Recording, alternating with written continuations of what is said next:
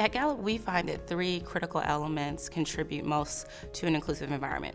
First, everyone has to feel respected. It's uh, foundational, it is non negotiable in work environments. If there's not a sense of respect, there can never be a sense of belonging and inclusion.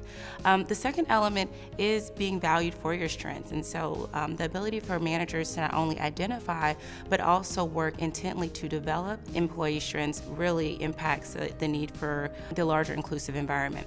And then finally, there has to be a sense of trust in the organization. Um, that third element is trusting leaders to do what is right.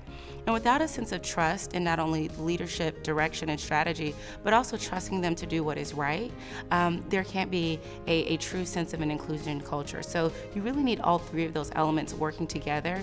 Research has shown us uh, time and time again the value of not only a diverse team, but the extended value of an inclusive team. So there are teams may have diversity, but they're not able to fully leverage it. Inclusion is that critical factor that helps a diverse team really maximize their ability to be innovative, to be creative, um, to think about problems in a new way. Um, and so, if an organization wants to truly maximize and leverage their diversity, they must be inclusive.